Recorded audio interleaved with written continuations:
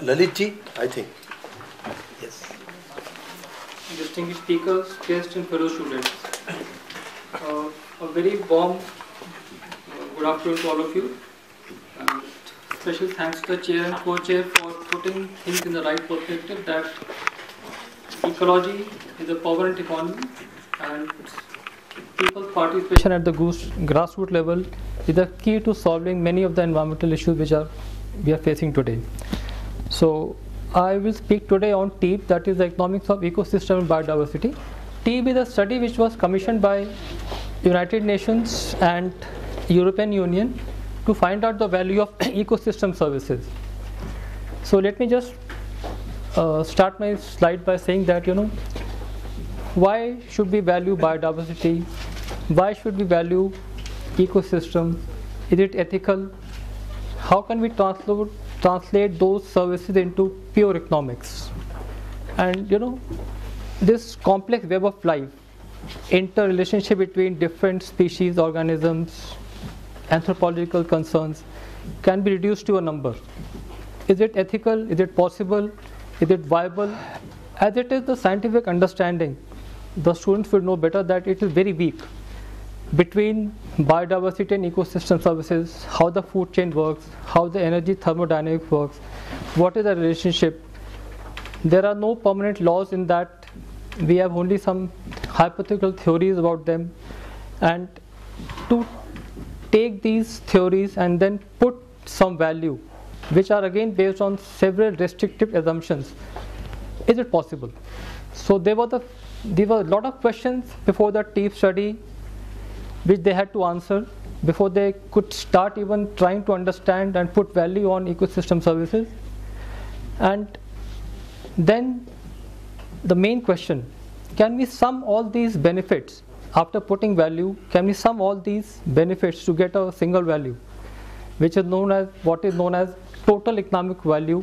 Is it possible? Is it right also? And we'll see later in the study that how they attempted to go about finding some values and then getting some average values from different parts of the world. Next slide. We don't know what is the value of nature. Nature gives everything to us. Nature is a capital stock to us. And most of the nature and the ecosystem services which are provided by nature bypass us. It escapes the market because when it escapes market, then there are no prices for that. And when there are no prices, then valuation is very difficult. And if there are no valuation, then what happens is we tend to take these services free and then we tend to overexploit and overuse. This is the main cause of ecological and ecosystem degradation at present in the world.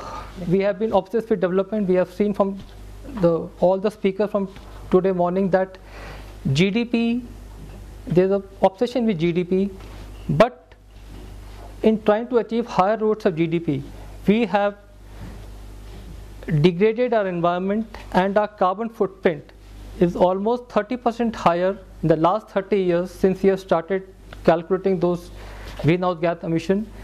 And it today stands at 477 million parts per annum. And we are trying to restrict that to less than 500 so that the climate change and increase in temperature does not increase more than 2 degrees centigrade which we are trying to achieve. First report on trying to value or trying to define ecosystem services was Millennium Assessment. It was done in 2005 and they came with a figure that in the last 40 years 60% of the ecosystem services have already been lost which cannot be recovered now. So this is a conceptual framework under which MA worked.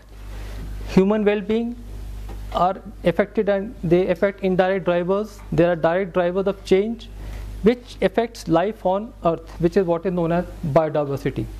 Now the main causes of biodiversity loss as per the literature and which MA also focused was on nature of relationship of humans with nature. Now how this happen what is the complex web of interrelationship is still not very clear so our dominant economic model has been more versus better private versus public wealth creation, man-made capital versus natural capital. Now, this is what in economics is known as triple whammy. That these are self-enforcing bias. That we, especially in the third one, we are trying to reason out that man-made capital can be a substitute for natural capital, which is not the case at all. So if we consume without limit, what will happen? We will have irretrievable losses of ecosystem services which will never be recoverable. So what to do? What corrections can we make to undo this process? We can start some process of valuation of ecosystem services and natural assets. We can expand our market to include those services so that there is some at least some price, however wrong it may be, so that we are able to justify that these much services we have consumed and at least there should be some amount of payment by the consumer that is we the people. It is a paradigm of economics of changing society that there are no market for the ecosystem products.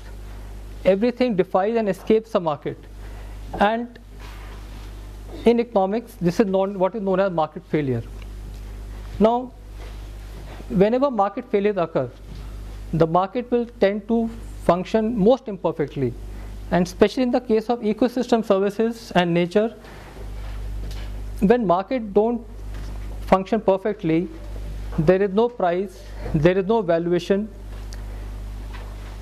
we tend to overuse over exploit and we can see from the case of himalayan ecosystem that it is such rich in diversity and species but the people living in Himalayan region are so poor. So the TEEB approach has been to calculate shadow prices. Shadow prices are popularly known as opportunity cost prices in economics. And the approach has been to justify, present and calculate these prices for different ecosystem services. Now we know that there are many weaknesses in methodology in calculating those prices, but still it is the endeavor to present these prices, calculate them, to present them to the policymakers so that some informed decisions could be taken. That these prices, these valuation could be taken into policy making so that these services are not neglected because these services if they are not taken into account, then all the future planning and natural assets would get completely wiped out. Now, we again also say that in TEEB you cannot manage what you cannot measure. For sustainable development, for future generation to consume at least as much as we have, we have to reduce ecological scarcity. We have to see that the species which are getting extinct are not endangered further. And the quantum of loss i'm sure it is not going to end tomorrow but the quantum of loss should decrease. And after some point of time we should be on the degenerative path. Next so this is the basic simple chart which explains the valuation methodology what is the baseline scenario today? What are the international policies? change in land use, climate change, pollution, water use, etc. It will cause change in biodiversity. It will cause change in ecosystem services, which will lead to change in economic value for these different ecosystem services. So this is how the chart goes, and this is how we try to arrive some values for the ecosystem services.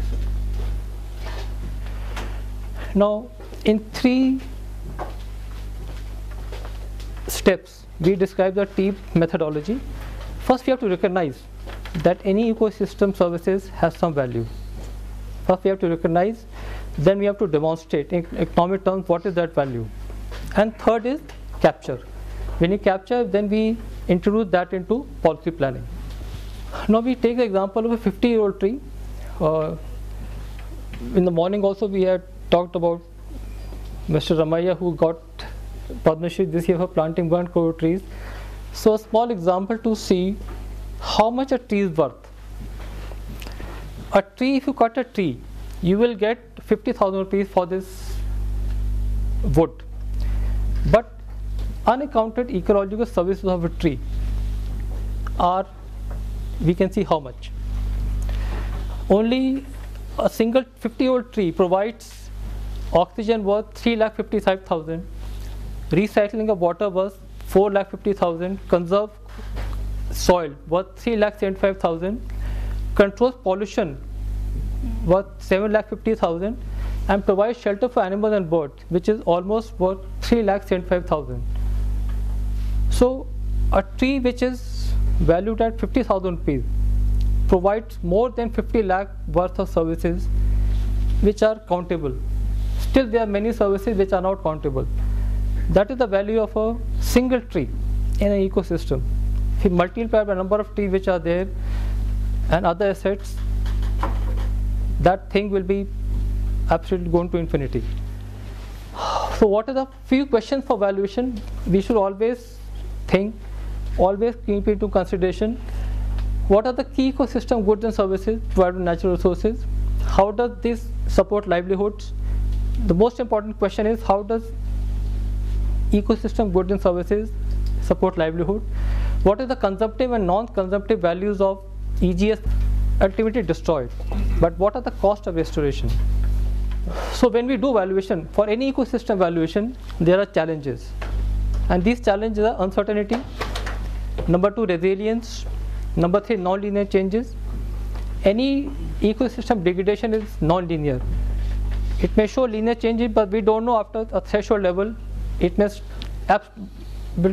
stop altogether. It may stop providing all services. What is the scaling of value estimate? How do we scale up? Because we cannot value all. We have to select a small sample. Now, how do we value to a whole state or whole country for the whole global level? How do we adjust for transferred values for different ecosystem context? How different values from one place or region could be transferred to another region? What are the different challenges we have to face? what is the aggregation of bundle ecosystem values and double counting? We should not be double counting the benefits of ecosystem values and services. How we can transfer non-use values that are highly specific to social context. Some values would be only available in different social and uh, climatic context. How to value those? Because they would have no other reference point. And lastly, how do you transfer and aggregate values for non-marginal changes in ecosystem service provision? Because in economics, all changes are marginal. We cannot ever calculate the total value. Everything would be marginal. So that's the first paradigm of economics. Only incremental changes can be taken care of. So TEEB study, it took 12 biomes. Biomes ecosystem, marine, coastal system, wetlands, freshwater bodies, forest, woodlands, grasslands, desert, tundra taiga, cold desert, cultivated and urban. So these were the 12 biomes which were under consideration of TEEB study. These are the valuation methods and value type they used. Direct marketing, factor income, avoided cost, replacement cost, mitigation, travel cost method, hedonic pricing, contingent valuation, group valuation, payment for ecosystem services, benefit transfer, and if we add all these, we'll get what is known as TEV or total economic value. These are the ecosystem services. Uh, for supporting, we have primary production, nutrient cycling, water cycling. In provisioning, we have food, water, energy, fiber, biochemical. Regulating, we have climate, disease, water, protection from hazards, natural hazards, and last one is pollination. There are also culture service, but which are very tough to identify. So this is how the process went for monetary valuation. We had the conceptual approach, then we had valuation subject, there were the methods, and then we had the basic new classical paradigm for valuation. Next. again that is the same slide with some different angle again new classical means we use market forces to value those ecosystem services. So this is how we arrive at total economic value. We add all the services, benefits from an ecosystem and get total economic value. So these are the final values for TEEB which they calculated for different biomes, for different ecosystem services in 2016 values.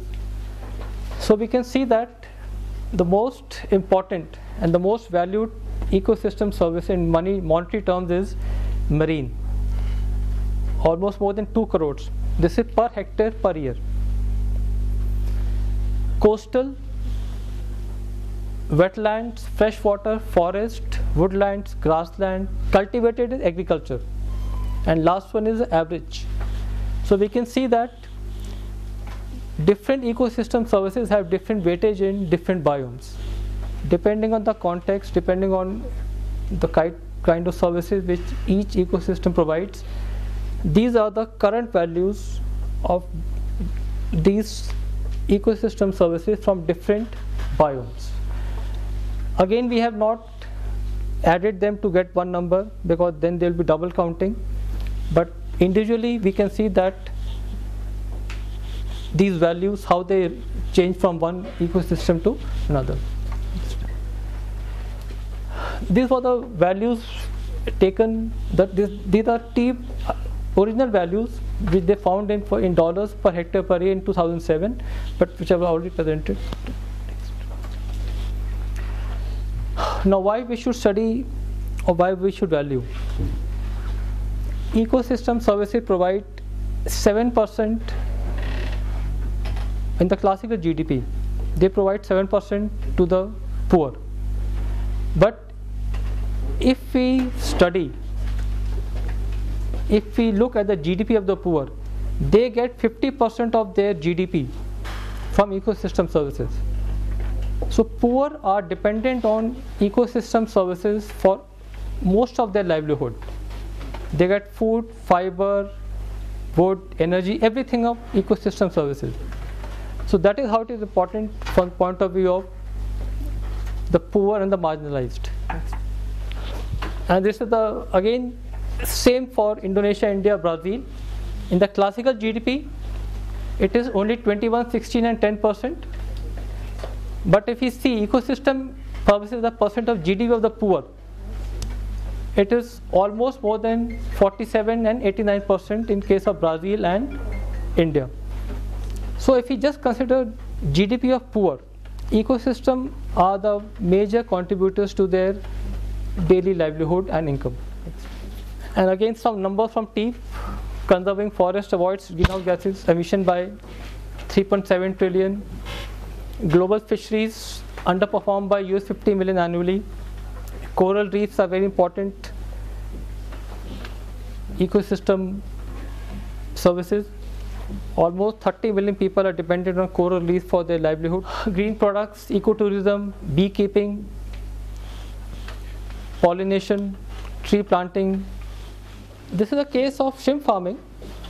If we take profit from shrimp farming, the private profits are 962 per hectare per annum. But that is if we include subsidies. If we exclude subsidies, the private profit falls to 1220 hectare per annum. But after shrimp farming have gone, there are no shrimp farm, there are only degraded land, then the cost of restoration for shrimp farming becomes negative. But in case of mangroves, they are public property and they keep on adding value and ecosystem services. And when we add their public benefit, then we can see that two things are radically different. So this is the main theme. We want to show that what is the value of different ecosystem services mangroves coral reefs to not only to nature but to us as a human being who are the ultimate beneficiary. thank you Thank you very much.